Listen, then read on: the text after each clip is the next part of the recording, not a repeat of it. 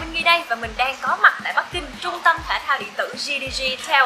Bây giờ hãy cùng với Minh Nghi nhìn lại những diễn biến hấp dẫn nhất trong ngày thi đấu đầu tiên của vòng chung kết của chúng ta nhé. Không phụ sự kỳ vọng của người hâm mộ, ngày thi đấu đầu tiên của vòng chung kết mở ra với sự bùng nổ.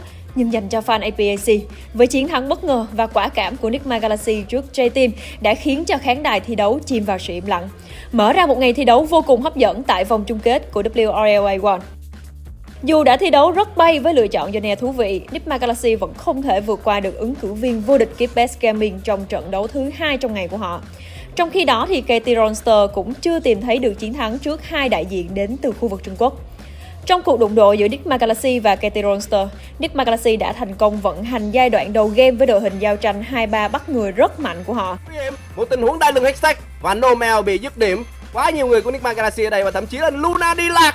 Rất chi tốc biến lên và sau đó găm sao bom chính xác. Một tình huống bọc ngục đẩy ngược lại nữa. Trong khi đó, trong trận thi đấu cuối cùng của ngày không có bất ngờ gì đã xảy ra khi mà Keep Best Gaming đã có được chiến thắng và vươn lên dẫn đầu bảng xếp hạng.